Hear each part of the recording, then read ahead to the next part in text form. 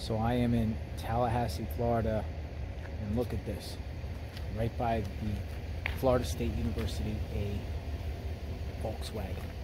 Ted Bundy definitely reminds me of Ted Bundy. Definitely reminds me of Ted Bundy.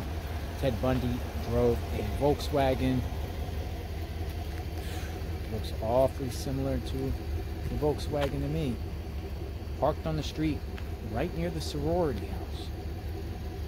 Chi Omega, right by the sorority house where Ted Bundy went in January 15th, 1978, and killed two college students, attacked two others. Ted Bundy. And look at the street.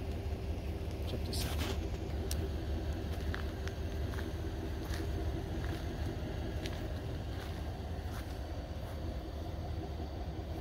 Ted Bundy.